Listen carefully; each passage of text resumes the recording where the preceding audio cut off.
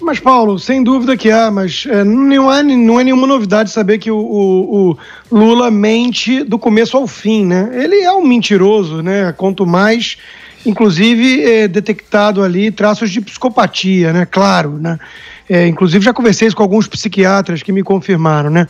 É, é, é, é a esquerda radical de sempre, né? Vitimismo, inverter tudo, chamar é, a, o juiz de, de bandido e posar de vítima, sendo que foi o capo da maior quadrilha organizada que já tomou de assalto o Estado brasileiro, mas isso é esperado dessa, dessa turma, né?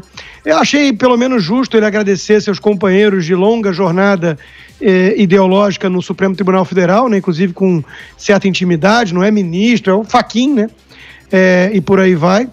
É, ele acenou também para empresários, entre aspas, e políticos, falando que é, quer conversar.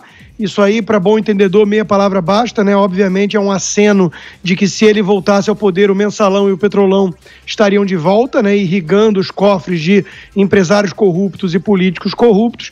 É, fez um aceno também, me pareceu, a, a uma certa emissora que é anti-bolsonarista de forma patológica. É, mencionou o Foro de São Paulo, que não existe ou que não é relevante, segundo os jornalistas militantes, né, que passam pano para esse tipo de sujeito. É, e é curioso ver a reação. Né? Máscaras estão caindo desde o início da pandemia, mas dessa vez elas caíram é, totalmente. Né? Então já tem ali formadores de opinião, advogados, jornalistas, dando um jeito de. É, não, veja bem, a tática consiste em você apontar um ou outro defeito bem menor né, do, do, daqueles que o, o, alguém como Lula acumula e logo depois colocar o mais. Né? Não, você pode até achar que o Lula não é, mas é preciso reconhecer.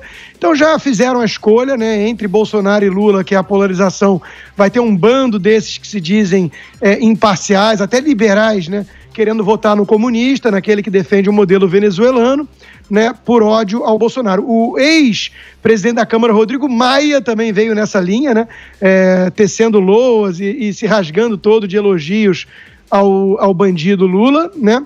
É, então essa reação é que para mim é, é, mais relevante. Ele vai ter o apoio de boa parte da mídia, que sente muita saudade né, da, da corrupção toda que tinha no governo dele, e também da afinidade ideológica que apresentam em relação a esse esquerdismo é, é, ultrapassado, jurássico, que temos ainda destruindo países na América Latina, como a Argentina agora e a própria Venezuela já citada. Qual é a força real de Lula para fechar, Paulo?